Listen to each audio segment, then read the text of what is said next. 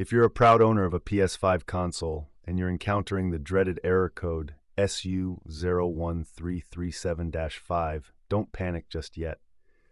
This error typically indicates that your console may not have started properly, but fear not, because there are a few steps you can take to try and fix it. Firstly, make sure that your console is turned off completely. Unplug the power cord from the back of the console and wait for at least 30 seconds.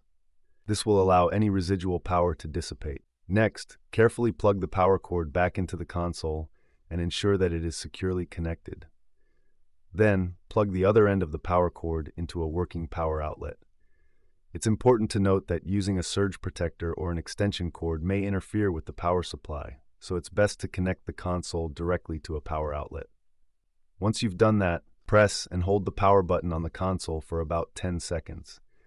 This will initiate a power cycle, which can help resolve various startup issues.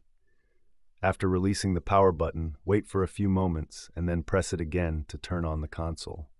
If the error code still persists, you may need to consider rebuilding the database on your PS5.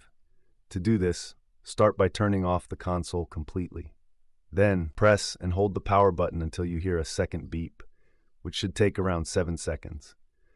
This will boot your console into safe mode. In safe mode, connect your controller to the console using a USB cable and press the PS button.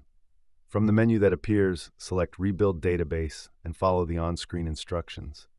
This process may take some time, so be patient and let it complete. Once the database has been rebuilt, restart your console and check if the error code has been resolved.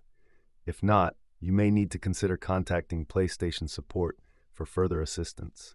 Remember, encountering an error code can be frustrating, but with a little troubleshooting, you can often resolve the issue and get back to enjoying your gaming experience on the PS5.